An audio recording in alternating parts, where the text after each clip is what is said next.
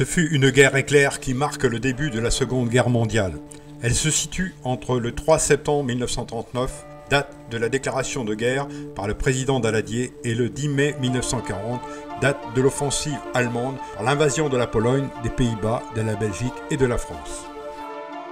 Celle-ci est massive et rapide, provoquant une peur panique dans la population et génère un exode vers la zone déclarée libre par le gouvernement de Vichy. Les gens vieux, jeunes, blessés, malades, mitraillés par les Stukas et terrorisés, meurent de graves blessures, de peur, de faim et de soif sur les routes. Le maréchal Pétain, désormais président du Conseil, demande l'armistice le 17 juin 1940. La France, qui accepte la défaite, se lancera bientôt dans la collaboration. Alors, le 18 juin 1940, le général de Gaulle, réfugié à Londres, lance son appel sur la BBC à la mobilisation et à la résistance. La France, qui refuse la défaite, se lance dans la lutte pour la liberté. Le 22 juin 1940, l'armistice est signé dans la clairière de Retonde de la forêt de Compiègne. Le 25 octobre 1940, Pétain engage officiellement le pays dans la collaboration, créant de ce fait le régime de Vichy avec toutes les conséquences prévisibles et lourdes pour la nation. Par ce régime, la France est coupée en deux par une ligne de démarcation fictive, nécessitant un laissez-passer allemand pour la traverser. Plus de 150 000 jeunes sont arrêtés et transférés dans des camps de concentration en Allemagne.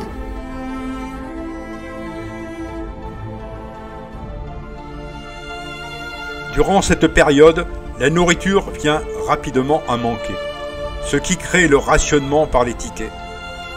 Les files d'attente aux boutiques d'alimentation s'allongent de jour en jour et le marché noir se met en place.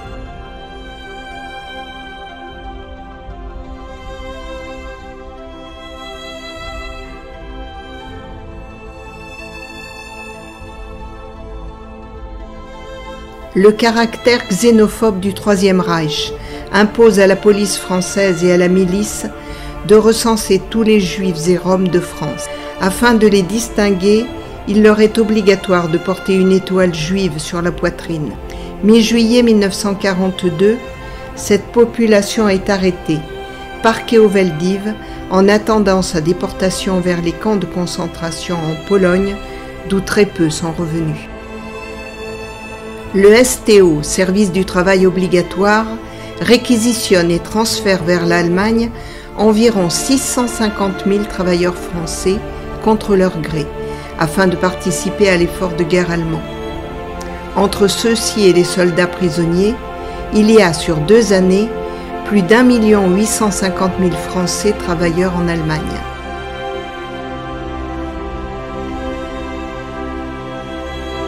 Bon nombre de réquisitionnés et de jeunes conscrits font tout pour ne pas partir au STO et rejoignent de ce fait les maquis via des réseaux de résistants.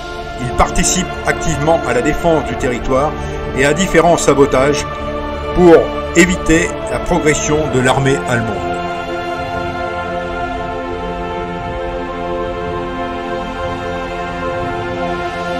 La France vaincue est occupée par l'armée allemande qui a la main mise sur les points stratégiques usines, centrales électriques, centres administratifs, réseaux ferroviaires, nœuds de communication et bases navales qui deviennent alors des objectifs futurs des bombardements alliés. Les pertes humaines et matérielles sont énormes et terribles. La préparation des débarquements, en Normandie et Provence, provoque une intensification considérable des bombardements visant les gares de triage, les nœuds routiers sur pratiquement tout le territoire français, provoquant de nombreux morts civils et la destruction de quartiers entiers par les bombardements alliés.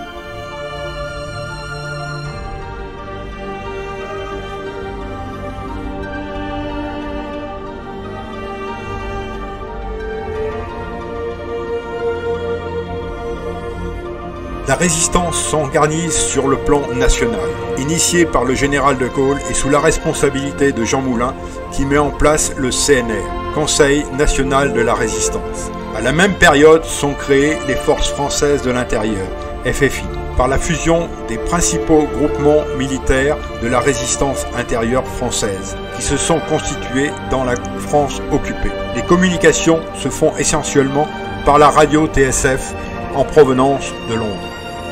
Dotés d'un courage sans faille et guidés par un idéal, celui de la liberté, ils vont à jamais marquer l'histoire de la résistance.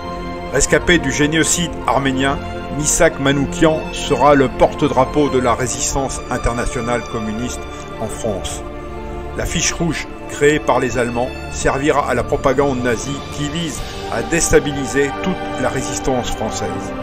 Son groupe compte une soixantaine de résistants et 24 d'entre eux seront arrêtés et fusillés au Mont Valérien le 21 février 1944 en tant que soldats réguliers de la libération, étrangers et nos frères pourtant.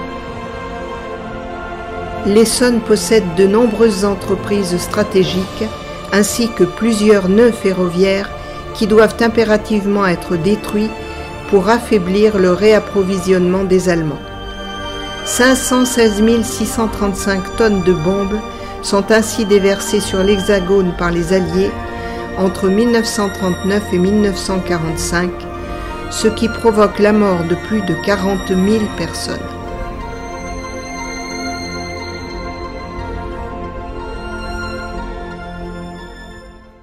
Nous sommes maintenant le 6 juin 1944, baptisé D-Day, le jour J.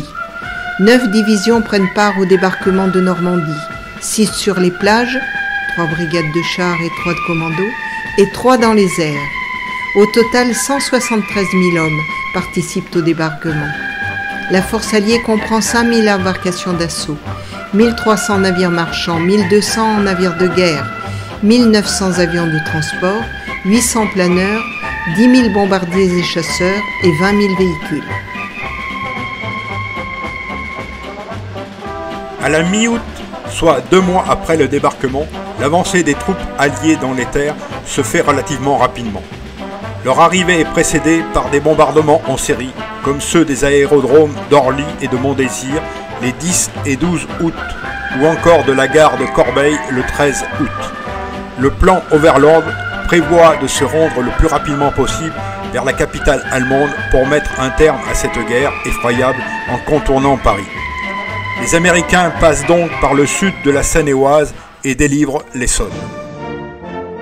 La deuxième division blindée française, créée le 22 août 1944, est dirigée par le général Philippe de Hautecloque, dit Leclerc. Elle est composée de 4000 véhicules et de 16 000 hommes, qui viennent de tous les horizons et comprennent de nombreux Français de l'étranger ou étrangers volontaires pour combattre le régime nazi. Depuis son débarquement en, Normandie le 1er août 1944, à Saint-Martin de Varoville, dit Utavitch, la libération de Paris le 25 août 1944 jusqu'au combat d'Alsace, dont la prise de Strasbourg le 23 novembre 1944, dans chacune des villes et villages de France libérés par cette prestigieuse unité, une borne du serment de Koufra est édifiée. Après le déluge de fer et d'acier sur les communes de Juvisy et d'Atis-Mons en avril, puis à Massy, Palaiseau et Étampes en juin, enfin sur la gare de Corbeil le 13 août, c'est au tour de l'infanterie de faire son entrée en Essonne en cette fin août 1944.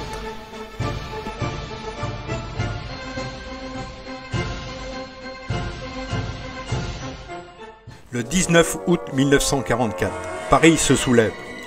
Après quatre ans d'occupation nazie, les Parisiens se mobilisent pour repousser l'ennemi le colonel Henri Roltangui, chef des FFI, les forces françaises de l'intérieur d'Île-de-France, appelle à l'insurrection. 2000 policiers reprennent le contrôle de la préfecture de police et le drapeau français flotte à nouveau sur le bâtiment pour la première fois depuis le début du conflit. Début novembre 1944, la 7e armée américaine et la 2e DB ont pour mission de libérer la plaine d'Alsace de Strasbourg à Wissembourg et de rejeter les troupes allemandes de l'autre côté du Rhin. Eisenhower décide de lancer une dernière offensive sur Berchtesgaden et le Berghof, la résidence d'Hitler, pour mettre un terme définitif à cette guerre très destructrice. Le 5 mai, en apparaissant au sommet de l'Obersalzer, sur le légendaire nid d'aigle, le drapeau tricolore parachève la victoire française. En février 1945, le général Eisenhower avait installé son quartier général dans ce lycée de briques rouges. À l'extérieur, aujourd'hui, rien n'a vraiment changé. Le bâtiment abrite d'ailleurs toujours un lycée. Mais à la fin de la guerre, évidemment, l'atmosphère était très différente. Il faut imaginer, il y avait des soldats partout. Dans la rue, des cohortes de prisonniers allemands qui défilent sous bonne escorte. Ce 6 mai 1945, la tension monte encore d'un cran.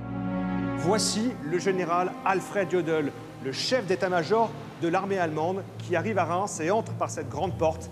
Il est attendu par les chefs des armées alliées. Depuis la veille, dans ces murs, les négociations autour de la capitulation patinent. Mais dans la nuit, tout se débloque. La signature doit se dérouler dans la salle des cartes, la War Room, le sein des saints des armées alliées, là où se conduit la guerre sur le front ouest. Cette salle, la voici, conservée en l'état, recouverte du sol au plafond par des cartes d'état-major. Très rapidement, on prépare la grande table de conférence. 17 journalistes sont conviés et installent projecteurs et caméras au fond de la salle pour couvrir l'événement. À 2h30 du matin, le général Yodel entre dans la pièce. Il esquisse un salut auquel personne ne répond. Les Allemands s'assoient à la table. Le général Yodel se place ici, au centre. À sa droite, son aide de camp, et à sa gauche, l'amiral von Friedenburg, le chef de la marine allemande, qui a conduit l'essentiel des négociations. En face, de l'autre côté de la table, huit hauts gradés alliés. Trois d'entre eux vont contresigner le texte de la capitulation. D'abord, le général Bedell Smith, qui est le chef d'état-major américain et le bras droit d'Eisenhower. Ensuite, il y a le général Sousloparov, qui représente ici les soviétiques. Et puis, il y a les Français qui signent avec le général Sevez. Autour de la table, la tension est palpable. Après quelques minutes de signature, de brefs regards échangés et de messes basses, le général Jodl se lève. Il prononce un bref discours dans lequel il demande que le peuple allemand soit traité avec générosité. Il salue de la tête, quitte la pièce. C'est fini. Les Alliés se congratulent. Eisenhower, qui ne voulait pas discuter directement avec les émissaires allemands, peut enfin sourire. Il fait le V de la victoire avec les stylos utilisés pour la signature. Nous sommes le 7 mai au matin. L'Allemagne vient de capituler. À la demande de Staline, une ratification de l'acte de capitulation sera signée le 9 mai 1945 à Berlin, au cœur du Troisième Reich. C'est l'armée soviétique qui intervient en premier sur le camp de concentration d'Auschwitz-Birkenau. Malgré toute la misère qu'ils ont pu vivre, ils découvrent l'horreur difficilement supportable.